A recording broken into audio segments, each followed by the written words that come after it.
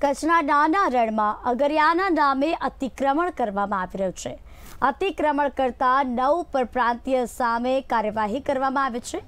તો ગુડખર અભયારણ્યની ટીમ દ્વારા મુદ્દામાલ જપ્ત કરાવ છે.